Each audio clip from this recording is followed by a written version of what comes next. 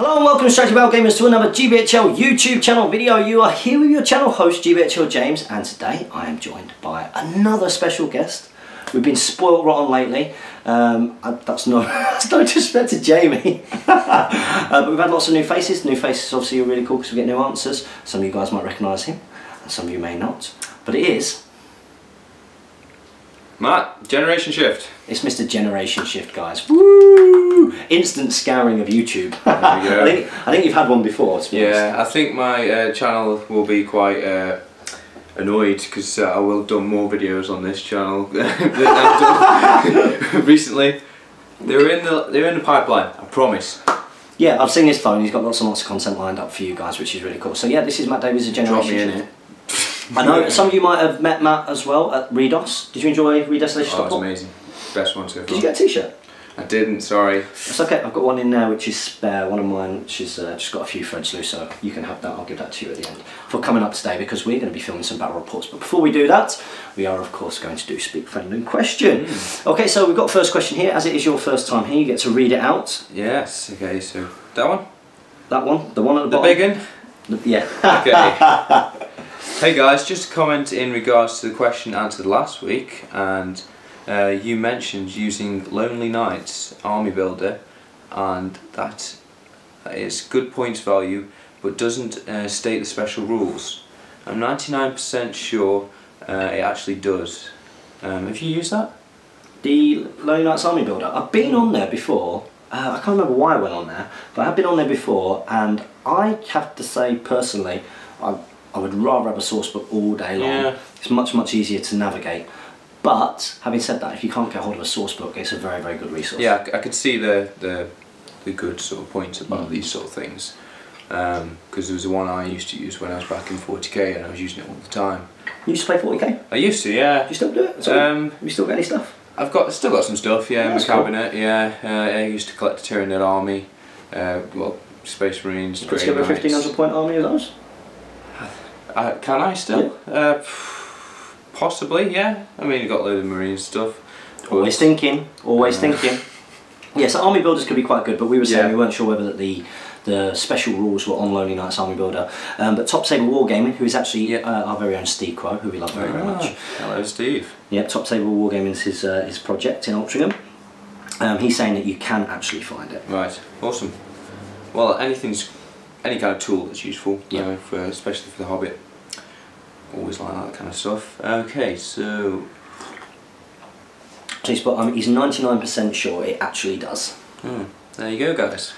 Um, and it's not just on the main page where you're choosing your units. If you scroll to the very end of the army faction options at the bottom of the page and you click forces of good or forces of evil, right. dependent of whether your force is good or evil, it tells you the special rules there. There you go, from Steve. Might have to check that out. A gift for the community from Steve. Go, yeah.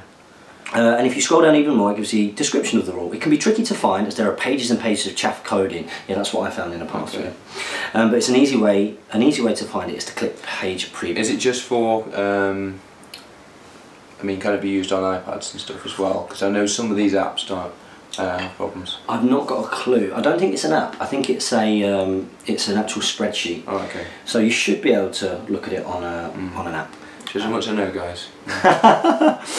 Um, the Army Builder should be used by everyone in the community, in my opinion, as it does all the work for you. Much love, Steve, aka Top Table Wargamer.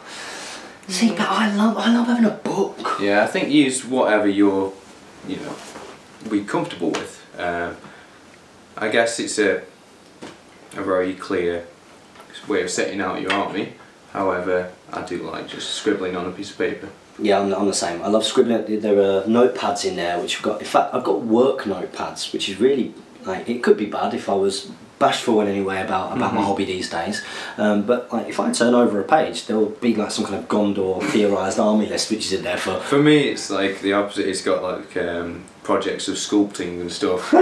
Any notepad, yeah. it's yeah, just jot it down it's part it's part of the fun of being involved in the system. So there you go guys, if you can't find the source books, go and check out Lone Knights Army Builder uh, and maybe speak to Top Table Wargaming Steve because um, he can point you in a direction for finding some of the special rules. Uh, so thanks for that buddy, make sure you ask a question next week. Okay, so next up we've got Copenhagen Middle-earth Battle Gamers. Did we miss out one? Uh, it's just someone who commented oh, okay. on it. Alright. So you can do that one if you want. I've made it a bit right. bigger now. I have to I have to apologise. The writing was really small for, from that before, and he struggled for it. So well done. Okay. Uh, thanks for a little shout out. Uh, this is Battle Games Middle Earth out Copenhagen, right? Uh, they in America? Sorry, Copenhagen Middle Earth War Game. Right. Middle Earth Battle Gamers. They're in uh, Denmark. Oh, Denmark. Right. Denmark. Um, it was good to see those guys in the tournament. Yes, we had a couple of nice guys Mhm. over from Denmark, and there's even more of them coming to our event. You know, which is happening next October, which is effectively going to be bringing around lots of people from around the world. Um, more details of that is coming soon, so be patient, guys, because there will be a full video before Christmas. Mm. Right, so I think we're managing to steal the scouring of YouTube this time. I promised him I'd do it. Uh, Jay was in. Did you see last week's Week I just saw up to there, I think, yeah. Yeah, he, he managed to get himself in and get a, a scouring of YouTube. Mm. Um, so I suppose I suppose we've got to give it to him. This is this week's The Scouring Yes. Of YouTube. of YouTube. I go. missed it then. And, uh, and it's Copenhagen Middle Earth Battle Gamers. Yeah. I have actually gone and seen these guys' content. It's very good. Hmm. Yeah, they do some, and it's in English as well. Is it? Right. It's in English. Um, so the battle report that I saw was uh, was pretty good. So Is, go and there, check it is there a German channel that... Um, There is. Right, because the content looks great with that, but I don't You can't understand it. Yeah. Yeah, the content looks really good. That's Yeah. Oliver and Co from the Hobbit Tabletop Liga. Again, these guys are coming over, Oh, wow. uh, as are these guys from Copenhagen. They're coming over next October. Great stuff. People traveling from across the world. So So they say, curse you Guild Ball Informer, Jay Finnegan. Uh, I should also mention that we speak English on our videos, as you already mentioned. Yep. Uh, so you don't have to be Danish to enjoy our comment. The content's Content. good. I also recognised a few uh, key catchphrases in there. Okay. They're definitely mine. Have they stolen them? No, listen, they are out there in the public domain. You guys can use them to your heart's content. It was, uh, it, it brought, I have to say, a sense of familiarity when I Mm. watched the battle report. It was, it was like watching a weird kind of slight alternate Reality, universe yeah. where I was actually Danish, Mm. and therefore the content was very, very, very good. So go and scout that channel. What I'm going to do is I'm going to put a uh, link in the video description below, and uh, I want you to click on that link. Go to that uh, that battle report, watch the battle report so you can see how good the content is, and then uh, leave a comment to say that you've come from the GBHL podcast. So that is this week's The Scouring of YouTube. there we go. So thanks for that, Copenhagen Middle Earth Battle Gamers. Uh, next up we've got Andreas, the Norwegian Viking. He's put a couple of, oh, and just so that you know, uh, I have posted out your swag bag that you bought, Andreas, so just so that you know. Um, also, oh no, sorry, he's done two comments. Uh, I went the entire episode frightened and hiding under blanket. Your costumes were so horrifying, I almost soiled myself. Wow. See, I read this comment before. Well, I, I didn't realise. I didn't see it, sorry. I, I, What, what were you wearing? this. Like that? Yeah, it's been cleaned, just so you all know. That's Okay. been washed. Uh, I think it's because he was expecting it to be Halloween content Ah, because it would have come out So you were dressed as yourself? dressed as myself. Maybe you dressed as an alternate reality of yourself. I bet you dressed up at Halloween. Did you dress up No, Halloween? don't. No, No. you didn't go. No, you didn't go and trick and treat. Didn't go get yourself some sweets. No. I did. Anybody who's on my Facebook will have said, "Do you see my?" I I think I saw, yeah. Was it, uh, what was it again? Uh, I, think- was a zombie prom queen. Right, I thought it was... Any excuse to wear a dress. feminine, yeah. It certainly was. Jane came in and. Uh, You looked phenomenal.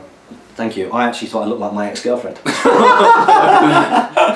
I, I did. I said that to Jane. I said, I said, God, this is really scary because I look like my ex. Wow. Um, but I came, I came in through the front door and Jane was like, I've got your Halloween costume, which never happens. Like, Okay. yeah. And She was like, I've got your Halloween costume, and it was like this surgeon, like a, a zombie surgeon. And I was like, Oh, are you joking? Because normally I'd like wear some like kids superhero costume or something. So I've heard. Yeah, it's good fun. Um, and I was like, "What are you wearing?" And she was going as a as a zombie prom queen. So I thought, I'm, I've got to get my, got myself get myself in some of that. So I wore that and uh, boogied the night away at Amici's. It was, it was awesome. Amici's is awesome. Uh, he's also put Daniel Craig, the best Bond. You must be joking. Who's your favourite Bond? See, I'm not a massive Bond fan. I'm sorry. No. I haven't really seen many Bonds. How long are you in for? Oh, right, yeah. Um, so it's kind of between Pierce Brosnan and Daniel Craig. I can see how Daniel Craig's more spyish and kind of um, But he's a bit. He's quite a bit of a like a thuggish as well, isn't he? Really, you can. Whereas uh, Pierce Brosnan's a bit more suave. Yeah, I, I think if you're going to liken them both, if you're going to liken them to two sort of um, sides of Bond or two sort of ideas of what Bond should be, Yeah. you would definitely say that Daniel Craig is more from the school. Um, It's more Sean Connery. Bond as well. well, he is. Yeah, he's, he's, we were saying last week that it's very. Um, it's a little bit more Jason Bourne, but he's very much more like Sean Connery, with that kind of rough around the edges. You kind of believe that he is sort of ex-SAS and Yeah. can do the job. You know that they've got to do. Yeah, he's battle hardened. Whereas Pierce Brosnan is a bit more of the suave kind of Roger Moore Bond. Mm. You know, and Roger, but Roger Moore and Sean Connery. A bit more of an English gentleman rather than. Very, very You much, know what I very much. Yeah. Um, but those those two are my favourite Bonds, Sean Connery and, uh, and Roger Moore. Yeah. Uh, so cheers for that, Andreas, and uh, and then he's put another comment if you want to read that one out. Where's that? That one there. Okay. Also, Lord of the Rings Hobbit is not gone from the store as a as a rule. Uh, it is up the managers up to the managers to keep uh, it or have it online only. Yeah, So so was this part of last week or? yeah, so uh, somebody somebody mentioned sort of the future of um, of the game and Games Workshops, and uh, it actually brought about the the topic of the Palantir, which Alright. goes up today, but Okay. actually will have gone up in this video a couple Mhm. of days ago. Um, because me and Jamie had to film the weird time travel thing of, of these shows. Um, we actually talked about it, and we did address it there actually. That you know, yes, it is up to the managers apparently whether to keep it or not. But I imagine that a lot of them very soon will be making a decision to remove it. Okay. And uh, anybody who watched the Palantir Yeah. will see why. Because So, my local one still has uh, all the Hobbit stuff in still. yeah, I think it depends very much on on On the obviously area, yeah. the sales for it. Mm. Um, but I think that's going to change soon. and on the manager whether he's into it himself. Yeah, that's that is a part of it as well. Uh, so thank you very much for your comments, Andreas. Make sure you ask one next week. Next up, we've got David Whitaker. He's put The Hobbits is not out of all GW stores. There's a pretty good amount in GW Nottingham and a bit in Warhammer World 2. It's down to the store managers, but there is no obligation to have it on the shelves, which is why it's gone in a few smaller stores. Well, like anything, it depends on the market. And it's more likely to be in places like Nottingham. Of course it is. Of course it is because it's the kind of big Mm. flagship places. Yeah. Um, but it, it's going to come down to whether a store sells it or not, and if they don't sell it, then I guess they'll be like, well, why would I have shelf space for that? And like I say, with some of the things which are coming up, which we discussed on Friday, I imagine that it will be going from most shelves soon. Mm. Um, so next up, we've got Jay Clare, the lovely Jay Clare. Hey, Nottingham himself. Nottingham himself, yeah. Yes, so. Ah, doing a J. Clare. Love it. Uh, You know what it's a reference to? Okay, go for it. I don't know. It's a reference to. I should watch more of these. don't say that. That implies there are people in the world who don't watch Speak Friend and Question. Who would that be? I have no idea. I have no they, idea. They need to be shot. doing a J. Clare is like bringing something which you don't normally see that often and then seemingly doing quite well with it. So for example he brought a all Mahud camel army. Oh, with the blowpipes. That was Uh, one tournament he did. He might have done, yeah. Yeah, I know that he did one where it was all camels, he might have done where it was some on foot as well. Yeah. And he did quite well it. And of course he um, has got a very competitive Lake Town army, which you don't see very often. Good. Uh, which is have you played that? No, uh, uh, have you seen his latest? Well, one of his armies was uh, Alfred. Then he had Lady um, Galadriel, Lady of Light, Mhm. some new, some Arnor, Men of Arnor, uh, Kazakh uh, Dwelling or Oh, no he did- he- yeah, he did like that. a mix. He A did that at mix. Stockport, not Redos, but the one Yeah, earlier in the year. because it was definitely one I went to. I think it was that. One in April. Yeah, because the first one I went to was where he brought his late Town on, Yeah. and the second one I think he brought that. Yeah, I'm sure he brought that earlier in the year in April. Yeah. Um, so what else has he put? Uh, okay, I have a question for you guys. I hope it hasn't been asked before. Which characters do you believe are underrated in SBG, and who would you like to see Ooh. more of at GBHL events? Cheers, guys. Jay. Gandalf on cart. Yeah, you think he's underrated, He's fun. or would you like to see more of him? I just like to see more of him. Yeah, I'd like to see more of him. I think it's easier to answer who would you like to see more of Yeah. than it is to answer who's underrated because I think we have spoke about this before, and that is that the game's been around a long time. Mm. Um, so people tend to know sort of the strengths and weaknesses and um, you know, on the whole now, Yeah. of what's underrated. Um, Kardush. Don't see a lot of Kardush, and yeah, there's some couple of little tricks that you can do with him. I was awesome with him. Yeah, like uh, the last tournament I played at, um, I think in one game I got um, four Sons of Eorl with him. What? What? Um, fireball, because you just take uh, take orcs to drain, dice three will, uh, you gain back, and then you just fireball people. It's so funny. Uh, I fireballed Gandalf a few times, got a wound, and then get, just getting his will down. yeah. Just constantly draining an orc, fireball. Doesn't matter because you bring. I brought another shaman as well, being a bit cheesy, but uh, I did. I did bring a bolt thrower there, so just to be fun. Both But it's great. Um, just I just love the fact that with orcs it doesn't really matter if you can just kill one of your guys just to get a bit of will back and just fireball someone. It's fun. I've only ever seen one other person bring Kardush Yeah. apart myself. Yeah. The only problem is his defense is one less, but Yeah. you just got to get keep him hidden. Doesn't matter if he's just keep him behind the lines because he can still fireball people Yeah. within six inches. Strength six hit. Uh, cost of a normal shaman. Pretty good. I think the only other person think, I've uh, seen is. Quinn Duggan. Quinn Duggan was brought in before With his Morannons. With his Morannons. Yeah, Yeah, he's right. brought in with his Morannons. He's done quite well with that mean, before, hasn't he? Yeah, it's, it's Yeah. pretty competitive I mean, He's quite good at list building. He's just a terrible player. Isn't that right, Quinn? Beating McGilboa again last night. Mm. Uh, does that feel better to actually beat him now then? Well, you know, it's my job to support the Hobbit hobby, so whenever I've lost, it's obviously to encourage people to, to get involved in the game. That's the only reason why I've ever lost. Tact- tactical loss. like to get in the second. Uh, Um, things that I would like to see a little bit more of. I think, I think, like you say, things like Gandalf and Car is a good shout because you don't, you don't see the of cooler models it's that you don't see. You, know what I mean? Yeah, It's. You see, I'm, I'm a big fluffy player. Just don't don't. If something looks cool, try and put it in an army.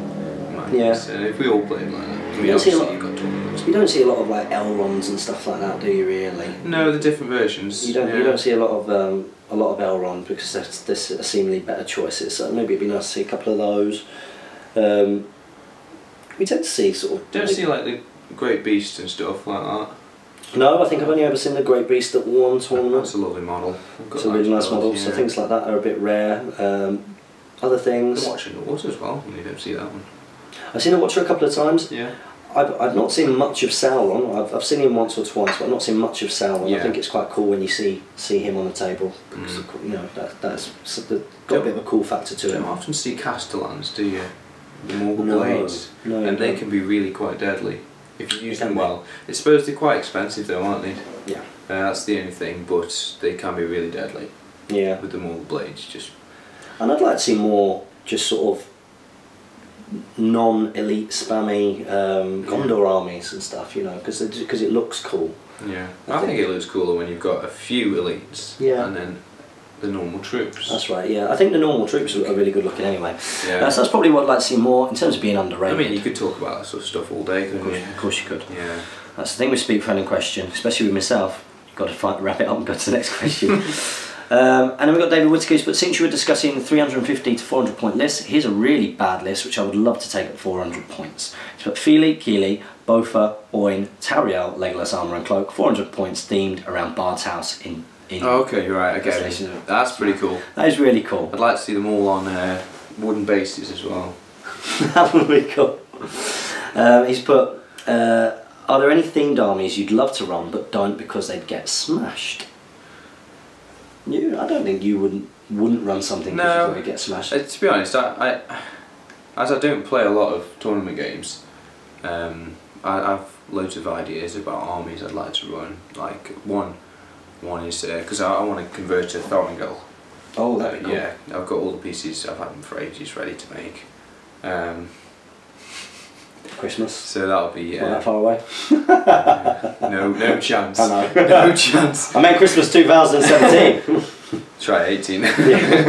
um, but like, I'd love to do a, a, a thing else. Uh, riders. So back Mm. when Theoden was a kid, When Aragorn rode out with Thengel, and that'll be a really cool army. You proxy Theoden as Thengel. yeah. and then include Aragorn and just some Riders of Rohan and stuff like that. That'd be awesome. As well as That'd be cool. so that's one of my ideas I wanted to do. Um, but obviously, uh, 600, 700 points, you're not going to be getting a lot of people in there with Aragorn and Theoden, are you? But I think the thing is, with, with lists like that, because you know I've got some ideas for lists like that. Um, you know, yes, they're, they're probably not going to be massively competitive, but if you bring a list like that, you, you, you don't care whether it gets smashed or not. So I don't think there's the, I don't think there are any themed armies I'd like to run, but I don't because I think they they get smashed. Um, it's just that you know if I've gone to a particular tournament, it depends what I'm going to a tournament for, I suppose. Um, I really like the idea of doing like all mounted grey company forces Yeah. so you use as a basis of if you use the twins with you no could do some armor, Riders of the Dead with that as well, couldn't you? you could do. Although I'm not a massive fan of No. um, of, uh, of them. The models or The models and also their their role in the movie in the end. yeah. I'm not a huge fan of them sort of arriving at Pelennor the way that they did, Mm. um, but I can see why it was done. Um, but I'd really like as a basis. I think it comes to 500 points if you take uh, the twins. Um, you don't give them armor. Um, you give them horses and a bow. Because they Um, wouldn't really have. I, I couldn't imagine them without the armour. As Yeah, far as if Well, if you're doing a grey company, you can say, right, okay, take the light travel. It's also because it's 500 points, and then you've got, if you put Halbarad Mm-hmm. on a horse with the banner, a bar when they even Yeah. start, again, something you would probably not, I mean, it's okay, but you probably wouldn't take because it's quite expensive if you're being competitive. And then you take Aragorn, Strider, and you do put him on a horse, and you do give him armour and a bow. Uh, and I believe that those four models together come to 500 points. So I think that'd be quite cool. Let's do that. But another idea is to do that as a base and at larger points cost is just have loads of mounted Rangers of the North. It'd be That'd very be elite so force, cool. yeah. Would be cool. It would be very very cool. You know, of course, those those are going to allow you to get broken quite easy. But I'm not sure I wouldn't take. It's not a case that I wouldn't take it because it's not competitive. It's just it's a nice themed army that when I get around to painting it, I'll probably do some stuff with it. Um, so thank you very much for that, David Whitaker. So next one's for you. We've got Jericho Jackson. Okay. So thanks for your thoughts on my list last week. You convinced me to not drop in a shade. That's good.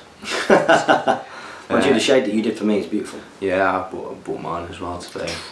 Uh, still, I was pretty uh, surprised how filthy you made it out to be.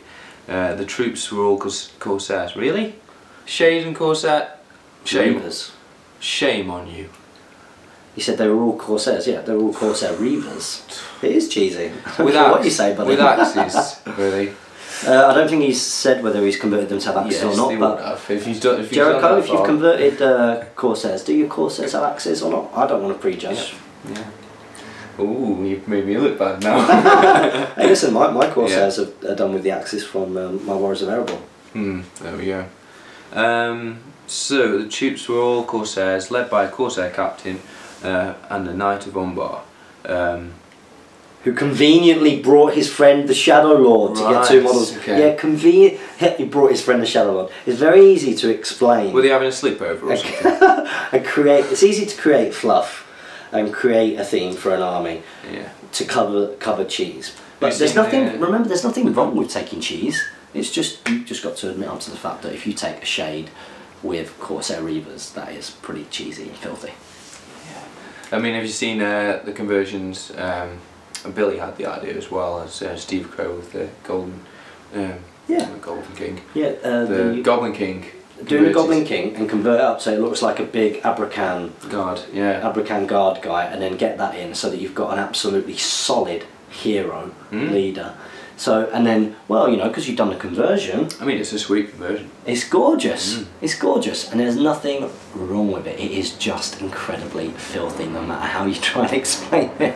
It's, it just is. Uh, you make your own stories up. Go for it. Yeah, yeah. If it makes you feel better. Um, this week, my question is whether uh, whether cavalry get an extra attack versus monsters. Yes. Mm. Uh, not monstrous mounts, but against monsters they do get plus one. Yeah, and monstrous mounts get an extra attack versus cavalry. Yeah, No. They, yeah, they, yeah, they get Yeah, plus and one they get knocked down. charge. Yeah. Super. Um, so yeah. On On page page 52 of the main rulebook, it says when cavalry charges uh, a foot model, Uh, it gains the extra attack and knockdown bonuses, so yes, we've already said.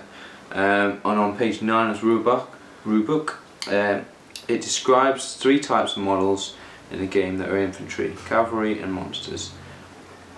So it's basically just saying, yeah. Yeah, so it says it says that models who fight on foot are infantry, which would suggest cavalry only get the attack and knockdown versus infantry and not monsters. Mm-hmm. Uh, no, uh, they they get the extra attack versus monsters, but they don't get the knockdown on monsters because they're not a high enough strength. Yeah, right. Okay. Um, So it all strength based, isn't it? it's strength orientated, so um, for a cavalry to get a knockdown versus a monster, it would have to be a higher strength than the monster. Mm-hmm. Um, and that's why monstrous mounts like Horned Fell Beast can be quite good at. Um, I think it's Horned Fell Beast which have got the extra strength. They're the ones that can sort of knock down a lot of other sort of strength six monsters. What's the highest strength cavalry model? The highest strength cavalry, monstrous cavalry, or actual. Either. I guess. Um, off the top of my head, strength four from uh, Warg Marauders and Sons of Eorl. Right. Off the top of my head. Now would uh, would a heroic strike affect that? Oh, You mean a piercing strike? Yes. No, piercing no, because it goes off the base. Right. Goes off the base, I'm pretty sure. Uh, so cheers for that. Uh, so next up we've got Wah! And he's put, I did it! I caved. I finally cracked open the screws from the starter box and yeah. now Yeah. working on it.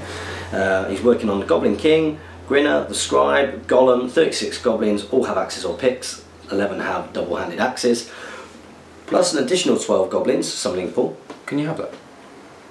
Uh, Double axes. Don't they all just count as having a hand weapon? Um, no, I think some of I think you can have you can take a two-handed weapon with goblins. I think it's an option. To the Goblin Town goblins. Goblin Town goblins. I think so. I don't think it is. Hmm. I don't know. Maybe. I can check.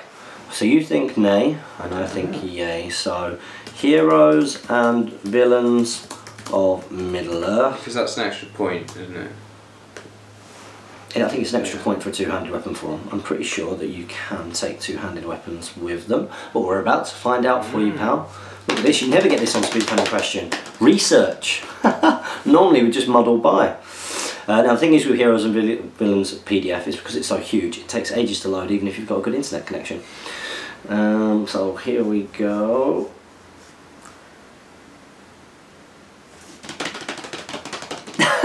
Great content. Great content. Okay, scroll, scroll, scroll. No, don't scroll. Do, Struggle do, loading. Do, do, do, do. Do, do, do, do. Oh, it went, it went right down to the bottom. Okay. Right. Um, those are army lists. Come on. Getting there, guys. We're getting there. Profiles. Oh, Oh, we're nearly there. Yeah, yeah. Goblin Town, 200 axe for a Oh, my apologies. It's just my veteran skills There of speak friendly question. Hmm. Um, so, yep, he can do that. Um, I didn't realise that. Uh, and he's leaving, plus an additional 12 goblins for his summoning pool because of I the don't often goblin squad. see people take two-handed axes with them or people usually just use Yeah. the one-handed, Mm. one-handed um, picks and stuff to piercing strike with. Um, he's put as my 400 points list for an upcoming uh, 800 points doubles event, and his partner is bringing Mordor. I think that'd be very competitive. Yeah. My only saving grace is I refuse to ally in Moria to get those cheeky shamans into the list. Good, Good man. guy. Good. We like you. Good man. Uh, on to this all the axes you want now. On to this week's loop sustaining question. We now have a fairly substantial gaming community, that's great to hear, and we have a fair whack of connections to gaming groups worldwide. Do you think it'd be worth the time and effort for the GBHL to spearhead a petition? Let's gather a shed loads of names, let's present it to GW to get a final FAQ update. Present them with a list of more commonly asked FAQs and strange things with possible answers and let's see if this will prompt someone to give us a final update before final curtains. If you do this, please have them update Thor to have a shield as part of his war gear, update Dwalin to have the ability to use two axes or his hammer, update Dwarf Captain of Erebor list uh, to have an option to purchase an additional axe for five points. Uh, maybe I'm an eternal optimist, but it's got to be worth a shot. Well, I'm not sure about that last one with your uh, Dwarf Captain of Erebor list. Um. It's just for the model, isn't it? it's just for the model, yeah. Yeah. Um, I don't think you would gain an extra attack by having No. that, buddy. Um, Okay, so I've got a couple of points here. That would be very taken if it was. Yes, it would. Yeah. Yeah, it would. It would. Five points for an extra attack Yeah, all day long. be ten points, wouldn't it? Really. Yeah. Um, so, first of all, this kind of happened not so Yeah. long ago. Um, we're very, very lucky that on the Great British Hobbit League Facebook group, so if any of you guys out there aren't on that, doesn't matter if you're not part of the Great British Hobbit League or you live elsewhere, guys from all over the world on that chat, on, on that page, is go on there and in the pinned description you will find a community FAQ.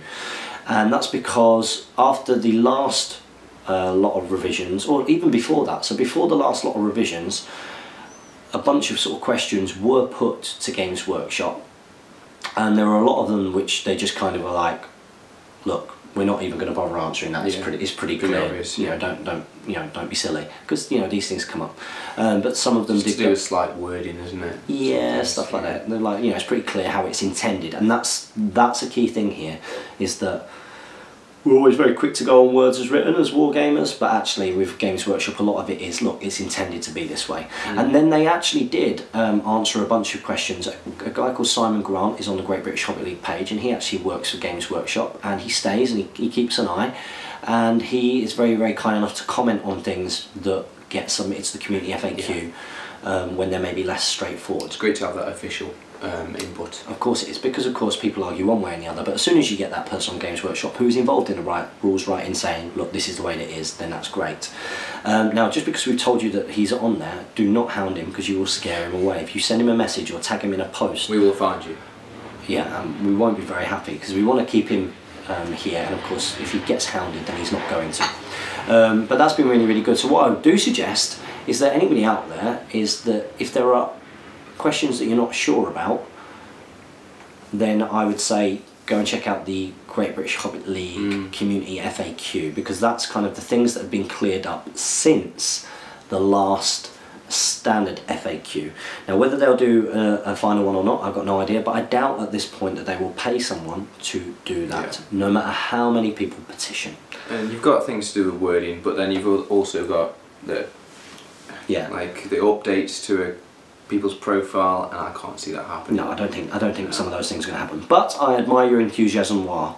And you know, there's always talk, and whenever the official input stops, um, whether things can be changed community-wise, because the majority of the community is actually on the group, isn't it? And you, Um, I think the Facebook group's got about fifteen hundred. mm, The podcast has got over 4,000 now. Yes, So the that's good. podcast has probably got a little bit more of an audience. But I would suggest anybody out there who's subscribed and, and hasn't liked that page, go and like that page um, because there are a lot of there are a lot of people with better minds than than I and others who discuss things to do with rules and profiles and things on there. And it's a really good sort of way of getting instant responses as well. So go and check that out. Uh, you've also continued your question. Uh, you fellows emailed me an age ago as I wanted to buy some magazines and have them shipped to Canada. Then I forgot and then I got a baby and forgot my name, let alone remembering to order the magazines. Now issue one is sold out. congratulations. We have three confirmed people who would purchase a reprint as well as issue one, uh, issue two, So issue one is gone now. Yeah. Uh, Have you got it? I've got it. Yeah. That's cool. Yeah. It's a really good cavalry article in there, Mm, yeah. written by Jamie Giblin. Skimmed over. Um, we can send funds in advance or place a deposit as we would love to collect the magazines. Even better, a subscription so we don't miss out on this side of the world. Uh, you could hold on to them as I'm trying my best to make it back to the UK and attend the GBHL event in 2016. Well, that would be good because if you're coming in October, we have got people travelling around the world. There- There are tournaments every single month across the country. And if it doesn't fit to come to ours, go to those. But that's a good one to come to. Uh, either way, three confirmed sales here, and then you've given your email address in case uh, they want to email. Even though one's sold out, it's let them know you're still interested because they're building up a. You know, and do remember that the SBG magazine is separate from the GBHL podcast. Okay, so um, that was set up by GBHL Damien and GBHL Tom. I think before that they were GBHL hosts. Yeah. or maybe Well, maybe this Dam- idea, I think. I think Damien Damien had just become a GBHL host, maybe, or he was on his way. Oh no, no, I don't think he was. This was before they were hosts. So, um, speak in question it's probably not the best place to ask them. Um, what I suggest you do is email sbgmagazine at gmail.com. So if anybody's got any questions about SBG Magazine, email it to sbgmagazine uh, at gmail.com and Tom probably will get back to you. Yeah. In terms of whether they would, whether three would be enough, not unless you pay significantly more, because the only reason people can get the price that they're getting is because of the larger print run. Um, and to get costs down, I think that you have to be ordering like 50 plus at a time. Um, but you never know, they might be able to do it for you. Uh, and I think the idea of subscriptions is a great idea. But with them not having set release dates, dates for the magazine, It's very tricky, I can imagine. that would be tough. You'd have to pay like, because what if you paid a yearly subscription for four magazines a year and they did they could only do three or you know I think it'd be quite tough. Um, but anyway, thank you very much for your question. So next up we've got Michael Purcell. Okay, hi GBHL. Uh, loving the channel, especially the 500 points for Rohan.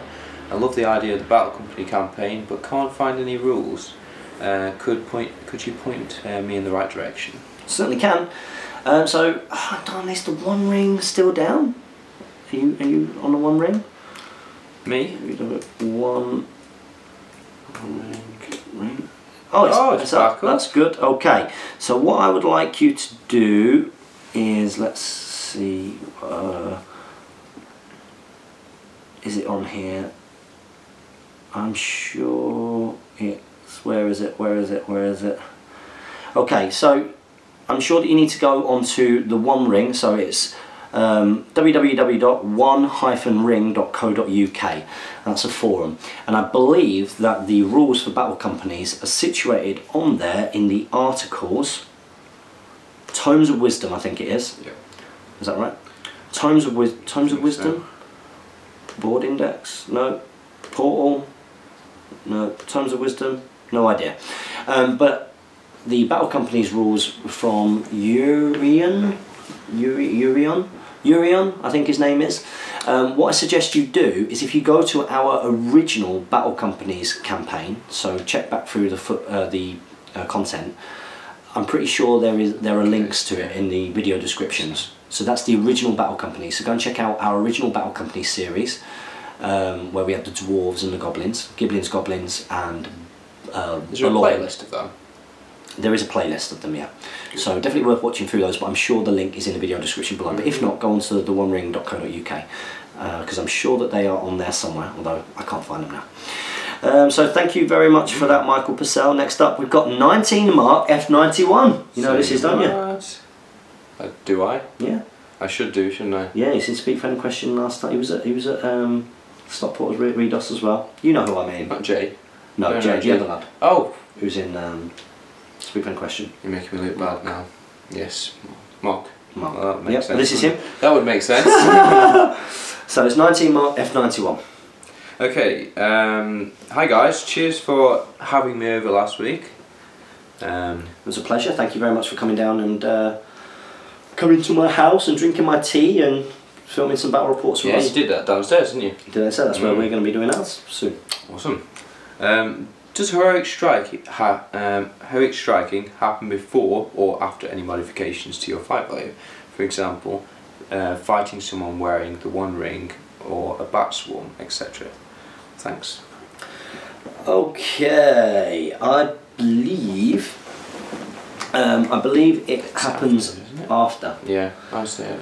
I believe it happens after. So um, it's if you, let's say for example, a bat swarm comes into you and you are um, fight six, it takes you down to three. But if you heroic strike, um, And you can't. Yeah. you you go from your six, but then you half that. Mm.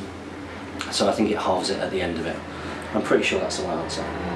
So sometimes you just there's no point for heroic strike. Sometimes it's not worth heroic striking if you're not high enough in the first place. Because I think that if you're up against something which is fight six, I think that's the thing. If you're up against something which is fight six, there's never a point of heroic striking because the highest you can ever be is fight five, Yeah. and that's why I'm pretty sure it happens after. Um, so I hope I'm right. If I'm not right, I'm sure that somebody will absolutely jump on the opportunity to tell me that I'm wrong in the video description below. Straight away. They will have done it now. Uh, so cheers for that, and uh, thanks for coming down. You're always welcome to my house to film that report. So let me know. Uh, so next up we've got Mike, uh, Mikhail Bo Bojan. Bojan. Bojan. Bojan? He's put thanks for the episode. Absolute pleasure. My first question: What do you think is the best tactic against awful shoot and run armies like wall-mounted Rohan and Rivendell Mm. Knights? Is it, for example, better to spread your army or keep it in one place? Get an all-mounted shooting army. That, that can help. That's the best tactic. Um, really, really good things against those are casters. So wizards. You're going to be wanting to Nazgul, cast blinding light and yeah. Blind, blinding lights, um, blinding light or shadow The Lord shadow good for that. yeah. Things that are fast, fell beasts are great. yeah Uh, are great at this. Lines. Yeah. Um, mounted wizards who can sorcerous blast, so mounted Saruman. Um, having blinding light can help. Um, splitting up is not a good idea. Bolt throws. If you watch through a lot of my early battle reports, um, like really early when we first started the channel, um, Son of Eorl. Son of Eorl, back, back in the days of Son of Eorl, not Son of Ale, Yeah. Um, if you watch those, what you'll notice is one of the reasons why I won most of the time was that my opponents would split their army. So, and they would split their army to kind of chase you down. So, you know, a lot of people would be, oh, well, you just stand back and shoot the whole game and run away. And I think Mm. there was a couple where that happened, but it didn't happen that often. What would happen is that they would try and chase me down, and I would be able to focus all 500 points of my army on 250 points of their army. Um, so yeah, I think really good things are monstrous mounts for this. Blinding light or pool of darkness can be helpful, um, or uh, compel can be quite good as well. Because you can you can compel someone out and you can get something on that. That's good, and then hurl it. Monsters are very good against it. Um, and to be fair, if they're sitting back and shooting, Fell, fell light would be useful, but it's only six inches, isn't it? it's only six inches, yeah. Um, if they're sitting back and shooting, Rohan in particular, it depends on your defence, of course, but sitting back and shooting the game probably in tournament settings isn't going to go on long enough for them to be able to, to break you or to kill. At some point, they're going to have to commit. So the key thing is not making a mistake before that. Focus on the objectives. Yeah. Um, you know, these armies aren't necessarily as good at dominating the objectives. So if you focus on the objectives, let them pepper away and you know if you've got something to counter with them with then brilliant but let them pepper away and focus on the high ground focus on hold ground focus on depends what domination. your army's like. If you've got like a squishy orc army and you want to be trying to attack, well, yeah but if you've got dwarves, it doesn't matter so much because you've got the higher defence to combat the, the peppering. of course it does um, so in that case if you've got a softer army things like pool of darkness become even Yeah. more important fell beasts become even more important things like drums um, drums heroic marching they're all good yeah, good counters I'd like to see more. But some drums. like yeah I played I played against um, drummer. Was he like? Was he a captain drummer? Is he like an orc drummer? Has he got like a hero profile? He's got one fate. That's right. Yeah, Yeah. I played against He's him. got higher strength as well. I played against um, a blackguarded Nice Barad-dûr one. army Mm. that had a shade in it, and it had um, Okay. had a drummer, and I played it at, to the death in at the Nova Open. Really nice guy, but I think he realised partway through that he, he couldn't win the game. Mm. And what did I? Why? Because target priority was that drummer. Because the drummer was meaning that he could move f- faster than I could when he did his marches and stuff. I think it was. So Yeah. had to go some big distances with the drummer.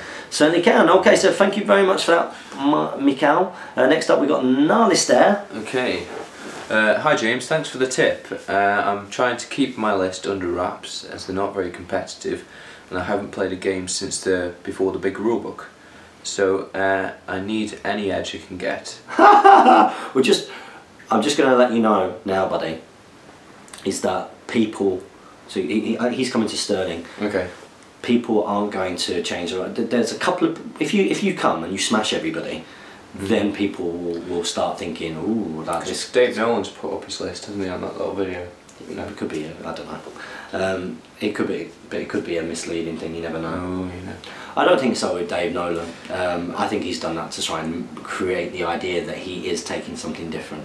But for example, I'm quite happy to tell you what my army is there because I, couldn't care less. it's a game. um, Yeah, if you're tailing to one army, that's I'm taking Rivendell Knights. I'm taking Legolas. I'm taking um, mounted mounted Legolas. I'm taking mounted Saruman the White, and I'm taking mounted Gandalf. And that's my good army. And my evil army is a third Ferals and Berserkers, a third crossbowmen, a third sword and shield orcs, Saruman and Grima, Saruman on a horse, Orc Captain with shield and heavy armour, Uruk Shaman, sorry, not Orc Captain, uh, Uruk Captain, shield and heavy armour, Uruk Shaman, and also Vrasku. And that's it. There you go. Sounds I like don't lose any. I'm not losing any edge because who would change their army to play against little old me? Um, so anyway, you put Hopefully, yeah. Suffice to say, they're both fluffy, and I've not seen them often. His oh, that's cool. That's cool. We always like to see stuff that you haven't seen before. Yeah. Um, for fluffy rules, there was uh, some great ones when Battle Games of Middle Earth were released for models uh, that didn't have profiles yet. Also, with some of the White Dwarfs, some of the earlier ones, uh, when they released those, the uh, Black Numenoreans, there was uh, Yep. yeah, there was a great Blackroot Vale, and they did the fiefdoms. Fiefdoms, cool. Yeah, that was a cool uh, issue. They had all the different fiefdoms and then a hero to go with them, which was really cool. Very cool. Um, so um, if you can find that old white dwarf, that's a very good issue. Um, where were we? For fluffy rules, they were um, yes, okay, that hadn't been released yet. Hama got a free heroic combat to rescue Theoden if he was in danger, That's cool. um, getting his head bitten off by a, um, by a warg. Uh, and Ugluk uh, had to pass a courage test to kill one of your own orcs. He's still got that. No, no, it wasn't. He had to pass a courage test. What he can do is he can choose to kill. Um, he can choose to kill an orc to automatically pass Okay. pass Oh, the courage right, test. yeah, of course, that's Um, the other way around. provide the stand stand fast for Yeah. Another way to combat list tailoring would be uh, to have more missions, uh, missions listed rather than used. Uh, example, eight scenarios in a rule pack, six random randomly ones used. Okay. So the idea is so that because a lot of time people pull up a rules pack and people know what they're going to be playing in the first game, know what they're going to be playing as the last game. So as such, they put their list up accordingly. And there is an argument there to have random um, That would scenarios. be interesting. Yeah, you have a Yeah. list and then you roll like one big roll for the whole hall. That would be interesting. Yeah, I think I think that that is a that is a a, a good idea, ish.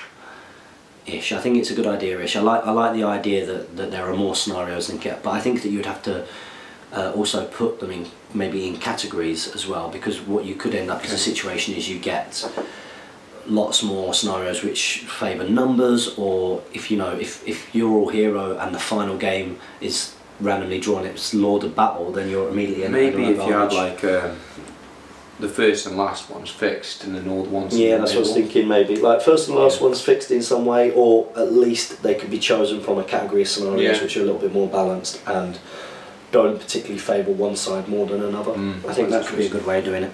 Yeah. Um, for this week, my question is, um, what is the model you've most enjoyed painting and why? Sorry about the rambling content uh, comment. Uh, thank you for making great videos. You're very welcome. So, you first. Favorite Uh, model, paint to paint. Favourite model to paint was by far Mounted Legolas. Thought it might be. It was it was a, a joy. It's I, I couldn't believe it Yeah. either. I was really surprised, and I think part of it is because I'd spent so long like getting through batches of, of troop cavalry, painting batches of troop cavalry and their dismounts ends up being a bit of a grind Yeah. because it's painting all those horses and you know by the time you get to those little details sometimes you can have lost a little bit of your motivation so he was very much a reward for me before Nova and I believe that he's also the best paint job that I've done You've, have you seen him? Yes. Yeah, you like it? Good? Yeah. Like, Really good. by far I don't even think some of the things I've painted since are anywhere near as good as what he was I don't know why that is You've got, think, to, you've got to really be into it to get your best paint job, haven't you? I think you've got to be think, painting yeah. constant, consistently yeah. Um, well, because I'm, I'm no stranger to batch painting, and, and that is a tip for, from me that if you if you've got heroes that you want to paint up, do not paint them all at the start because you will never get the troops painted. You won't do it. Um, yeah, I've, I've got about hundred Mordor orcs painted, and more more to do. Um, but the majority of my heroes aren't painted yet because I didn't want to get to the point where all my cool models were painted and then Yeah, it makes sense. Yeah. Makes sense, yeah. And I think uh, Jamie and I, when we were in a Speak Friend question uh, a couple of weeks ago, we had very different opinions on what we thought um, was the best way to sort of stay motivated, and mine was very much the same. Is that reward yourself with a hero at the end. Definitely, yeah. Or like what about for you? every What- ten models. What model have you enjoyed painting the most? Uh, Thror. I thought you might say that. Yeah, that model was amazing to paint. Um, Damien, I think Mr. O'Byrne, GBHL Damien, said the same. I think it's one of his favourites to Yeah, paint. it's just I enjoyed every single part of painting that, getting the gold right, but the amount of detail on that model was incredible. And when the detail's good, you enjoy painting it a lot better. I would agree with Yeah. that. I also think, uh, in fact, that answers some other questions that we've had in the past where people gone, oh, you know, what model, if it went out of stock tomorrow? And I think Thror is one of those that I've realised that, Yeah. like, I've, I've said since it came out, that's the most beautiful model that I think Games Workshop have ever done. Like, Yeah. I've, I've said that loads of times.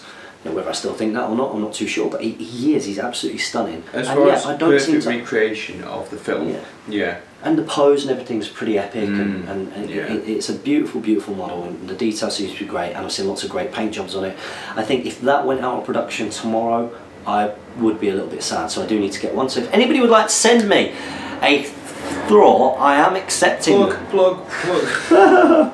I would like to. I would. Like, I would accept one.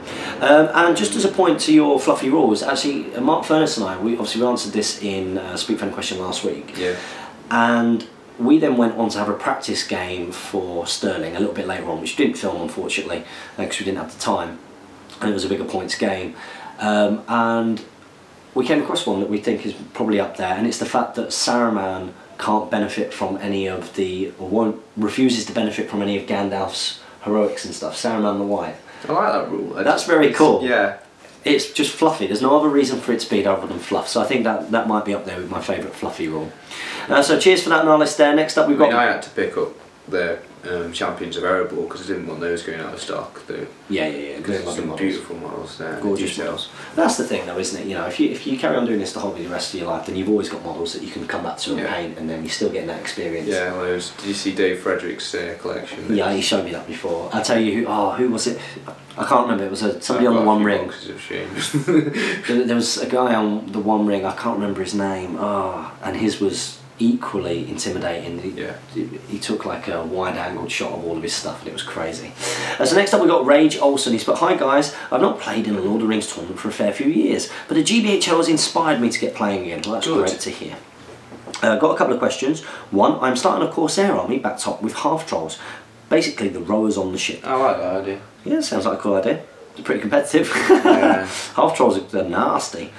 Uh, notice the description for the Reavers has changed from the old Harad book. They are now listed with Wargear armour. I was planning on converting Morannon Orcs head swapping with Corsair plastics. Will this be okay in a tournament? To make what? I think he means to make uh, a Corsair, make Corsairs by using Moranans.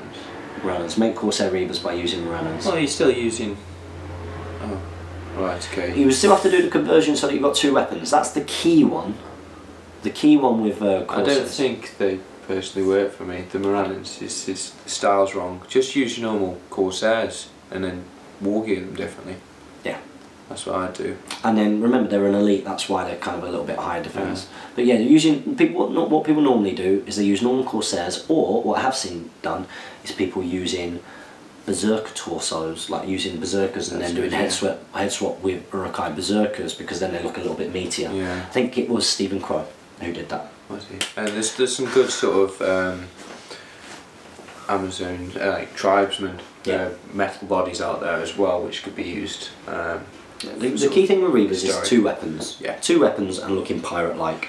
Uh, and whether it be accepted at a tournament completely depends on which tournament you I'd like to. to see some armed with oars.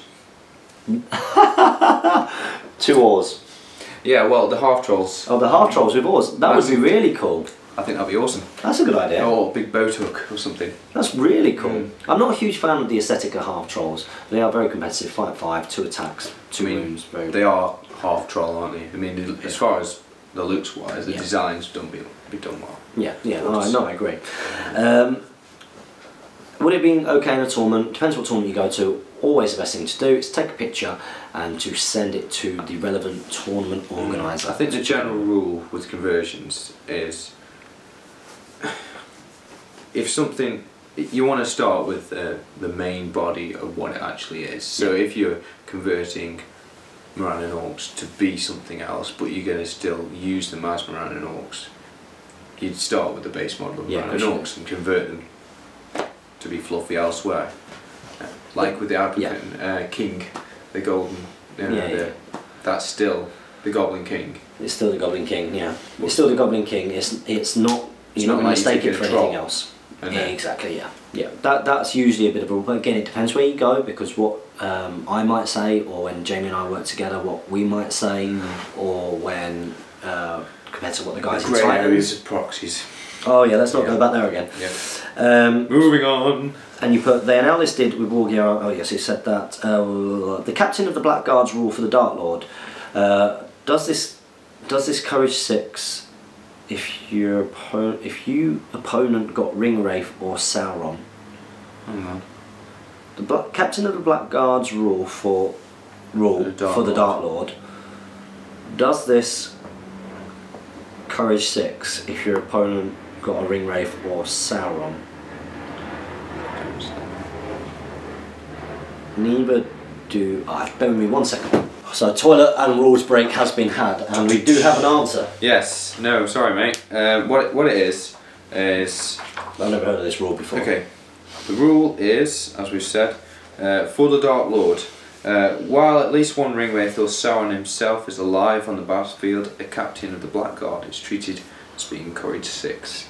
Um, so that is for, well, if you've got a ring Ringwraith on your own side, but it doesn't count obviously if the, your opponent's got uh, a Ringwraith or Sauron, because that's what how these books aren't written like that. No, these books aren't written like that. They're written as it intended, but I can see where the predicament comes in there, buddy. Mm-hmm. Uh, you put the shoot value for a Mordor Siege Bow and War Catapult are different, 5 plus and 4 plus. Is this a mistake? Got no idea. uh, I'm not sure whether it's a mistake or not. And war catapult. That's interesting. Uh, so that Four plus, is. Never noticed that. I think check the FAQ. Yeah, have a That's look at the Mordor FAQ just in case it's a mistake. If, uh, if it's not, then go with it.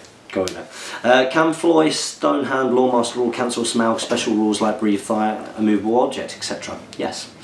So you, but you pick one, and you have to spend more to do it. As long as you've got him in line of sight, you can do that. Uh, if so, it could prove handy in taking on the dragon. Yep, lots of people have uh, theorised that. Uh, keep up the good work. I'm in the loop, so some more questions for next week. We'll look forward to having you uh, having you back next week, buddy. Nice stuff. Okay, so next up, uh, we've only got a few more questions left. Okay. Hello, hello. This is Brad Thy Hipster. Uh, thanks for the recent feedback on my army list. This week, my question is: Are Rohan Royal Guard uh, good for their points? Are they just fluffy warriors? Thanks again. Can't wait for the tourn- next year's tournaments. Okay, so Rohan Royal Guard. Have you used Rohan Royal Guard before? I haven't used them, but I've got them to paint. Much like a lot of my stuff. Brilliant. Yeah, yeah, Uh, yeah, that's like most things. Okay, so Royal Guard, in my opinion, I think they're good, aren't they? They're pretty good. Yeah, they are pretty good. value. Gives the extra five value you need, and gives you that cool special rule for your heroes. Very much, yeah. So any any troop that's got bodyguard, Yeah. defense six is also important against all that strength three stuff. Especially for Rohan as well, yeah. Especially for Rohan, especially as well because there are a lot of uh, good armies and elves back in the meta. Mm. You can see how Royal Guard might have fallen to the side when evil armies dominated the meta um, not so long ago. So obviously Isengard and things like Morannons and other things that are strength Yeah. four. That fight four is going to be really handy as well now. Fight you, four. You tend to take one for Banner Bearer, don't you? I'd take one as a banner bearer again, mainly. Survivability? Sorry. Survivability. Better survivability versus the potential of that strength three um, shot from the likes of Legolas or others. Um, so I, I, I think that they're okay. Um, it's all it's all relative to the army list, isn't it? So for ten points, you have to compare them to other things that are ten points. Um, Abrakhan Guard. No, not 10 points, sorry, they are 8 points. Oh. Never Eight mind. Um, I think that they are they're, they're rightly costed, but there are I think like let's say you've got a Khazad guard is you know um, a good example. Um, they get the extra defense for one point more, you know, but then they've not got the movement and stuff like that. I think I think that they're okay. When I when I um, just to drop this in here, when I won the Kingdoms of Men category at the last Throne of. Oh, did you? Yes, I Oh, did. did you? Right, I don't know if anybody out there knew that. I think I think they do now. They do now, if they didn't know before. Um, I actually took, uh, it was a 600 point tournament, I actually took uh, some infantry with my Rohan, which I wouldn't normally do, but 600 points is a bit of a funny one. And I took a bunch of Royal Guard on foot. Um, Who was your hero? Uh, I had, uh, was leading them, and then there was a banner on horse, Royal Guard, and then I also had four Outriders on foot, eight Royal Guard on foot, sorry, seven Royal Guard on foot, one mounted, Alright. with a banner, Eowyn mounted, and then I had Erkenbrand with three Riot Westfold Red Shields and two or three Sons of Ale, and Aema with And where did you come in that competition again? first, just so you, just so you know. Oh, only in my category, Kings and Men. I think it was, I think I came out third overall. Alright, um, okay. I think. Um, I think it was third overall, or second, third or second. Um, yeah, so that was um, so that, that was that. So I actually think Royal Guard are pretty good. Um, when you mount them, the thing is that Sons of Eorl are just that bit better. Um, so it depends on what points you've got left and stuff. If you can get a Son of Eorl, get a Son of Eorl. Um, but otherwise, and it's I also because the bodyguard can be quite redundant in an in an Erkenbrand army, in a Rohan army because of Erkenbrand with plus two courage. Yeah. But then again, versus the likes of Ringwraiths and things, which minus one courage, is helpful. they look cooler. And they look cool, that's the important thing. Uh, so thank you very much for that, Brad Thigh Hipster. Next up, we've got Charmed Balthazar. He's put in regards to Bond, the VHS, VHS tapes of Pierce Brosnan's films sat on the shelf when I was a kid. So even though I haven't seen all that many Bond films, it's his face that he imagines when he thinks of Bond. Uh, the sword fight in Die Another Day was bleeding awesome. He's put, I think I'll lead the charge into asking more questions about movies. Have you got on your tickets for The Force Awakens yet? And which is your favourite Star Wars movie? You got Nice. tickets yet? I You a Star Wars fan? I am. Come on, me too. Yeah, I'm looking forward to the game, Battlefront. Oh yes, yeah, that's good. awesome. Um, so yeah, I haven't got my tickets yet. I'll be just like I'll go in the first week sometime. Same. But I know my brother's got tickets uh, for the first showing. Wow. Yeah, but favorite Star Wars movie. Mm. Well, it's got to be one of the originals, He is one of the originals, clearly. obviously. Uh, If anybody isn't, Yeah. who eh, eh, is there anybody out there who prefers the prequels? Show yourself, Yeah. so that we can bully him. you see, I think I'm sorry if there are, by the way. I I, don't th- mean that. I think the first ones were ruined by the choice of Anakin. Both times. The the guy who plays Anakin in the second and third ones ruined it. I thought the script ruined it I mean, yeah, the script wasn't and the great. CGI. Yeah, but it, it had potential, uh, and I think there's a few things that could have been changed. Uh, I thought the interaction between characters and the script and the dialogue, where you've just got a bunch of people standing around telling you what's going on. yeah, a bit obvious. is is is pretty awful. And like, you uh, like explain for ex- explaining to you relationships between people. So, like, for example, I think it's in I think it's in Clone Wars. Like when you've got uh, Obi Wan and Anakin Yeah. in like a lift thing together, and, and they're explaining Oh, why they're close and stuff like that. And but then they also create this rift. All that anyway. Let's not talk about the prequels because I I'll just go off on one. What are hours. they? I've forgotten what they are. Yeah, just trying to block them out. Uh, so, what's your favourite one from the original three? You gotta love the first one, haven't you? Really? New Those Yeah, yeah. You gotta love the the uh, garbage compactor scene. It's very cool. It's just one of those iconic ones. It's very, very iconic. But I like the the desert uh, with the the sand monster thing in the second one. Is that Jabba Hutt? no, that's it, the third one. That's the third one, right? the Return of the Jedi. yes. Yeah, of course. I, I'm gonna. A lot of people say this. I'm big. I'm a big fan of movie two, The Empire Strikes Back. I think lots of people. I think it's the cliche answer in lots of ways. But I'm a, I'm a, I'm a huge Darth Vader fan. I think he's awesome. I think Darth Vader's I awesome. think so- that the, the first three actually just like blur into one for me because it's it just works so well. I was devastated Yeah. when my Empire Strikes Back, the videotape got chewed up in. Yeah. I had a TV video. For thing, you kids, we have to watch it on video before. Yeah, I had a, I had a little TV video which was uh, amazing. Remember when you had the little the TV and it had a video Oh, yeah, which yeah, was part of the TV that. and it was up on a little wall bracket. Ah, And it chewed it up. and it chewed it up. Um, so then I have to say then probably Return of the Jedi then, then was my next go-to one. But uh, but yeah, uh, thank you very much for that child Bar- charmed Balthazar. So I suppose the first one was quite a slow introduction, wasn't it? very good, but yeah. very very good. yeah. One thing that um, spoils it a little bit for me is I was Can't very- wait for the new one though. I mean, I, I, I've got Jane very kindly bought for me the all six of them as part of the Blu-ray. Right, yeah, I need to get that. It's, it's pretty good. Very cool, but you know what's very very upsetting? They remove things out of it, don't they? And change things. They add things. Yeah. They add like hamster- ridiculous Like the CGI CGI things to the original. Jabba the Hutt. It's ridiculous. It's one of the most stupid things. Or there's this like this music bit where this person's singing hubba hubba hubba hula hula hula, it, and you're just In like the what? cantina. Um, or in Jabba. Jabba's place. Jabba's play. Yeah. They do like yeah, it's awful. It's awful. It's like bad CGI pasted on top. Really bad CGI, and it has no place in the original. Um, so anyway, let's move on. Uh, we've got Lord Draconum.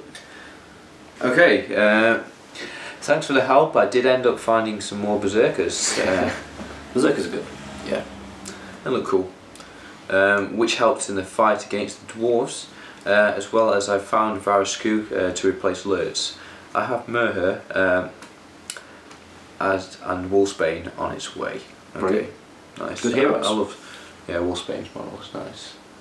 Yeah, it's lovely. Um, yeah. Um, it would be worth trying to get uh, the ferals. They're hard to find, so uh, converting may be an option. You can convert oh, berserkers really if you think about it. You could do, yeah. Yeah. You got to be willing to put the time in. Yeah. I mean, it is worth trying to get hold of um, ferals. They are a pretty good addition if you can get them in there. If not, berserkers are. I wonder great. if there's any gladiatorial 28mm models which you could arm swap with. You know, because Yeah, they have yeah. the, the They have, shoulder the, they have the yeah. shoulder, and sometimes when they've got that, they've got two weapons. Yeah. Might be worth going checking out something there. Yeah, 'cause and then putting an Uruk-hai head on it. Yeah, definitely. I've seen some conversions just from plastic Uruk-hai to make them be Mm. wielding two weapons, and then people say that they're ferals. Uh, I think with the current meta over here, though, uh, berserkers seem to be getting more playtime now than ferals, whereas before You can pick them up really cheaply now. Yeah. Still, they're still one of the staples They're quite. the berserkers you can, yeah. Yeah. Berserkers are quite a common model, and they are some of the best troops in the game. So, so yeah, I hope that uh, I hope that helps Lord Draconin. But yeah, if you can get hold of some ferals, then that, that's cool. Yeah. Uh, so next up we've got Josh Ross. He's put hi GBHL James and Jamie. James not here. Uh, massive fan of the show. Keep up the good work. Thank you very much. Uh, he put I was going to sell my Dunlending chieftain and get a banner bearer, and I was wondering if you were interested in them, as I know you have a Dunlending force. If you are, then you can email me on footyrousey at aol.com. He will have just got loads of emails from random people. I know, I better email him first. um, thanks, this is my first post on the channel, not a problem. Um, I'm sure GBHL Jamie will see that. Oh, he might not actually, because he's going, he's in, where is he? Is he in Belgium? Wow. Is he in Holland or Well, Belgium? he's not here anyway. He's not in the UK, he's gone over with Steamforge to do some um, showing off Guild Ball. That's cool. You played Guild Ball yet? No, I haven't. It looks looks interesting Yeah, though. it's good fun. Mm. The models are nice as well. Yeah. Bit of a pain to put together, but they're nice models to Yeah. paint. Um, so yeah, I'll, uh, I'll pass that on to him at the earliest possible convenience. Um, so thanks, Josh Ross, and we're on to our final question. Mm. It's from Dave Egan. Smell. Jamie, if I pledge thirty dollars a month to to Patreon, I can get some red GBHL dice.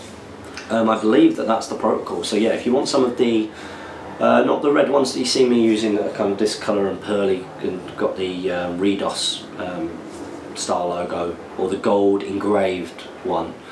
Um, but if you want just the standard sort of red dice, and I believe you've got to go onto Jamie's Patreon and support him. And I believe that if you do thirty dollars, then that's what it comes to. I can have a little look here. Uh, ba, ba, ba, ba, ba. It's usually in the description. Show more. I hope you all scoured last week's video, by the way, Ball Informer. Mm. Okay, supporting GBHL Jamie on Patreon. So it is www.patreon.com forward slash GBHL podcast, although it's it's for Jamie really, not for all of us. Um, $747 a month, doing alright there. Um, uh, maybe a pound. Patreon only, goodie bag, uh, merchandise. Yep, so it's thirty dollars or more per per month for those dice, buddy. Um, and you get like a goodie bag which has got all sorts in there, uh, which is good, which is good. What's he got here? So here's milestone goals. So yeah, when he got hundred dollars a month, he turned it into. So are are the, all of these available for podcast, downloadable podcast? Are they? Uh, and then for three hundred, are they? Let's have a little I look. think I heard him say something. Let's just have a little look if they are available. I can't see a, a link in the video description. I'll ask Jamie and see if he's done that. Because he's, he's reached all of his milestone goals. Mm. So uh, if you're a patron, is he, is he doing these? Uh, turn the podcast into a podcast. So Palantir and Speak Friend and Question will be made available as MP3 downloads for all patrons. That is being done. It has been I done. think I th- it's being done. I Being think. done. I think so. Um, for $300, GBHL Jamie will be able to spend longer editing the videos and make them a more enjoyable watching experience. I've got no idea whether that's whether that's happening or not. You guys on Patreon will be able to say say that. Um, reached editing software. GBHL Jamie will upgrade his video editing software to Sony Vegas Pro, which will allow far greater freedom to edit videos and do cool stuff. So it's good to see that he's um, that he's passed his Yeah, Milestone shows you guys goals. supporting him. Shows you guys are supporting him. Let us know um, how that's going. So that brings us to the end of Speak Friend and Questions. So we better get on and film some battle reports. Have you found it okay? Yeah. Been- Good stuff. Thank, good. thank you very much for joining me here and uh, offering some opinions. Thank being you having face. And uh, we're going to go and film some content now. So as ever, don't forget to comment, like, share, and subscribe. Pledge to Jamie on Patreon if you get a chance. If you want to support Jamie, uh, make sure that you like us on Facebook and follow us on Twitter. Support your hobby hobby. And happy strategy battle gaming.